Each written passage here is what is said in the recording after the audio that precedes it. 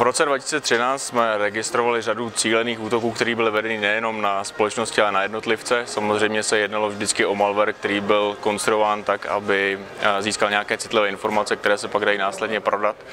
Eh, evidovali jsme i eh, malware, který se maskoval za e-maily České pošty za tzv. Win32 Hesperbot. Jednalo se o takového bankovního trojana, který v podstatě se staral jenom o to, že těm uživatelům dělal nějaký inject do jeho webového prohlížeče, tak aby měl přístup k těm údajům, které jsou v rámci internetového bankovnictví, aby si mohl provádět ty platby, které tam jsou. V té poslední verzi dělá i to, že vám vlastně nabízí možnost eh, integrace té aplikace do vašeho mobilního telefonu, tak aby měl přístup k těm potvrzovacím SMS-kám, který vám z toho internetového bankovnictví chodí. Dalšíma věcma, které se objevily a se kterými jsme tak nějak počítali, tak byl samozřejmě i eh, další rozvoj ransomwareu, eh, to znamená takových těch policejních virů, které se objevily a nejenom u nás, ale samozřejmě i v celém světě. A jedná se o typický příklad sociálního inženýrství, kdy vlastně na toho uživatele je kladen tlak z hlediska toho, že policie o něm ví a že mu nabízí možnost vykoupení se za ten trestný čin šíření nelegálního obsahu a šíření pornografie a tak dále. A v tu chvíli vlastně ten uživatel je tlačen k tomu, aby zaplatil. Samozřejmě se nic nestane, i když uživatel zaplatí, to znamená v takovém případě rozhodně nic neplatit, kontaktovat nějakou podporu antivirové společnosti nebo někoho, kdo se v tom vyzná, aby vám ten počítač odviroval. Další takovou věcí, která samozřejmě dospívá ke stále většímu růstu, tak jsou mobilní hrozby nebo respektive hrozby pro mobilní telefony, protože ty jsou samozřejmě tou kategorií toho mobilního, kategorií toho malwareu, který je na vzestupu. A je na vzestupu proto, protože ty mobilní telefony jsou čím dál tím rozšířenější.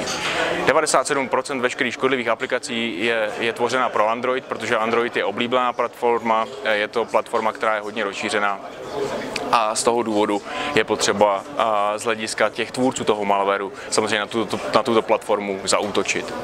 Co se týká sociálních sítí, tak tam se samozřejmě objevují takové ty trendy, kdy vám někdo dá k dispozici nějaké video, které by se mělo zobrazit. Typicky se to dělá v rámci sociálního inženýrství, jako zobrazení nějakého šokujícího videa, ať už se jedná o nějakou vraždu nebo o nějaké eh, erotické potexty a nutí vás to k instalaci nějakého doplňku, který je samozřejmě zase jenom dalším instalačním balíčkem škodlivého softwaru. To znamená, i v tomto případě je potřeba dbát na to, aby eh, ten uživatel měl povědomí o tom, co se na, tom, na, tý, na těch sociálních sítích eh, může stát.